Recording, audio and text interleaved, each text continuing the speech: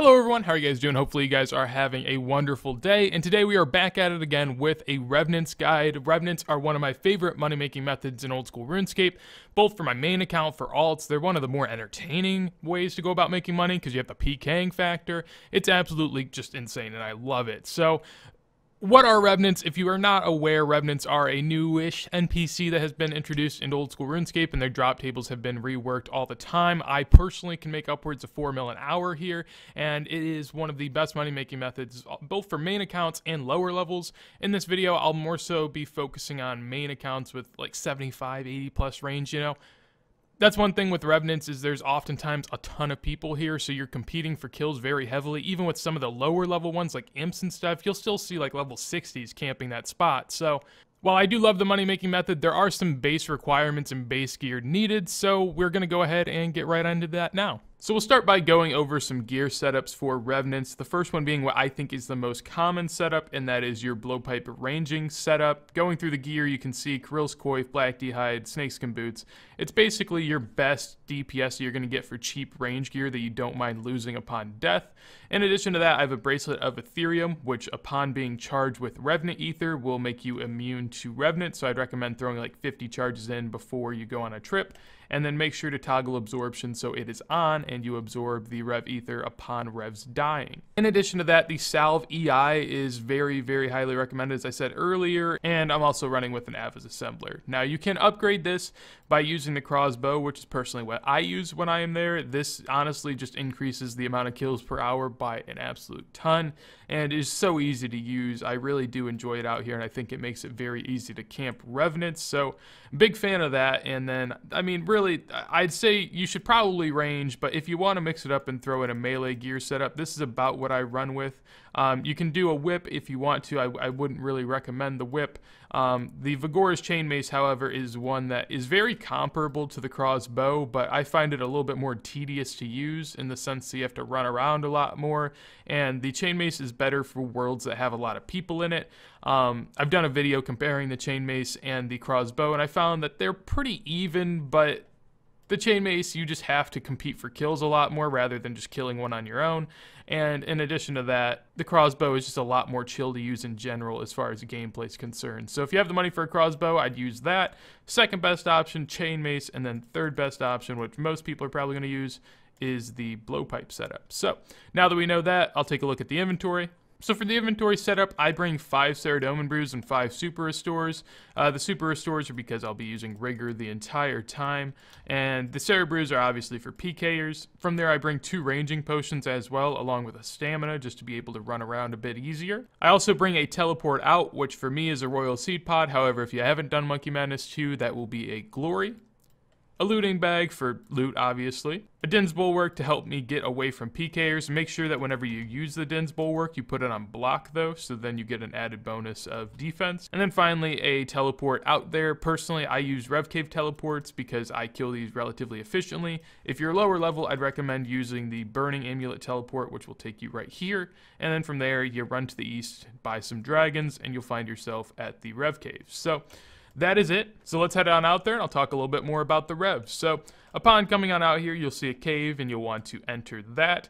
From there, you'll be in, a, in what is a pretty decent dungeon. The only part of note here is going to be this area where the revenants are at. And you'll also want to take note that there are two agility obstacles throughout the cave, one to the south and one to the northwest. If you don't have the levels for these, do not worry about that. However, remember you can use a summer pie to boost five agility levels, so maybe you can take these at lower levels. So I'm heading south now, and obviously you're always going to want to keep an eye out for PKers, but as you can see, it's a pretty packed area. You do have a lot of people here, and that's why I recommend having decent levels because it's just hard to get kills sometimes if you're low level. Now, I usually hop around worlds a little bit until I find a world that just doesn't have a ton of people, you know, maybe four or five walking around, but nothing too much. So this looks like a good world. Now, uh, what I recommend is you can go about this two different ways. Oh, hello basically right here is the cutoff line between level 30 as you can see and level 31 wilderness. So anything north of this you can't instantly teleport out. Anything to the south you can. So if you're someone that likes to be a little bit more safe maybe you'll want to come down here and kill these three.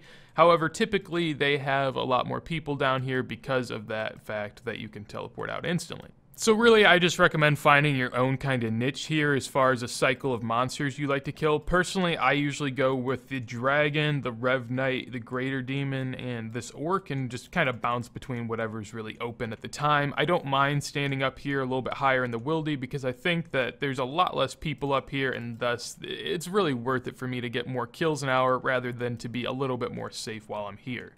Obviously, you're going to want to keep your eyes peeled for PKers. Typically, you'll have people logging in either over here, coming from the south, or over here behind this little quarter. Uh, typically, I'd say that for the most part is probably where 75 to 80% of the PKers reside. So just kind of keep your screen looking over that way. Don't focus too much on it, but if you see any activity, be weary. So along the lines of knowing where the PKers log in at, you're going to also want to know your escape routes. Looking at the map earlier, as we can see down here where it is level 30 and below, you're going to want to teleport out. However, if you get TB'd before you teleport, it's a very hard, it's a very long run all the way up here. This the cave entrance is very important because the cave entrance is single way combat, so clans will typically hop off of you if you make it up there. So if you're down here, you're probably just going to want to hope that you can tank it on your long run all the way up here. If you're on the right side of the room from this arrow over, I'd say probably great for you to run up to the top of the cave as well. And typically what I do over here, because I think less people expect it, and because PKers are coming from this way typically, I like to run all the way over here because there's a chance that they can get caught on this wall, this wall, or even some of the little corners over here.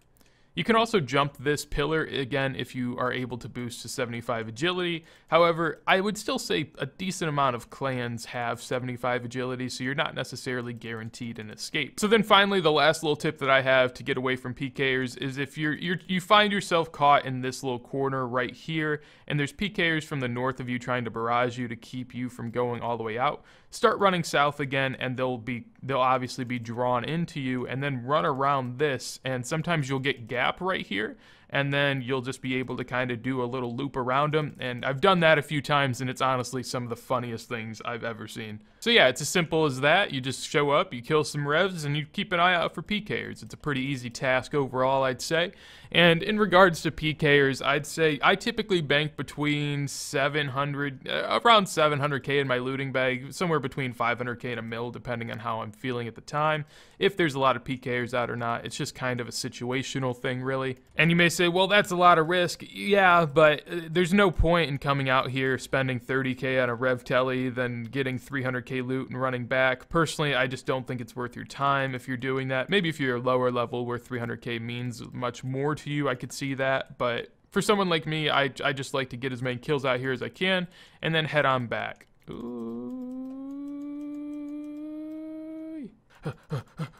So now that you know everything about how to kill revs, what can you expect from them? Now, I've been running this account as a rev alt for a little bit lately, and I've gotten up to 2.6 thousand kills. I actually started at 700, so this loot tab is from 1900 rev kills, and it's a pretty decent one at that. So as we can see here, 37 mil is my loot in 1900 rev kills, and I've gotten a couple, uh, really only one big ticket one, which was an 8 mil effigy.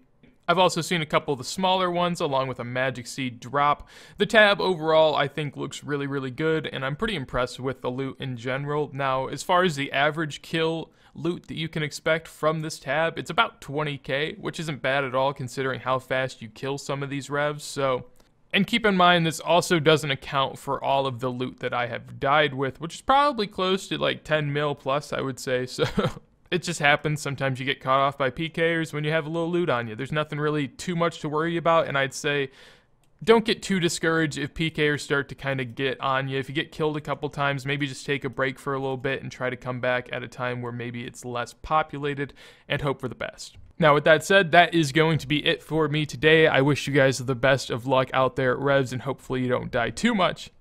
If you guys did enjoy the video, make sure to leave a like. If there's any guides or anything you want to see from me in the future, let me know in a comment down below. And finally, if you enjoy the content, make sure to subscribe to the channel. But with that said, hopefully you guys have a wonderful day and uh, bye-bye now.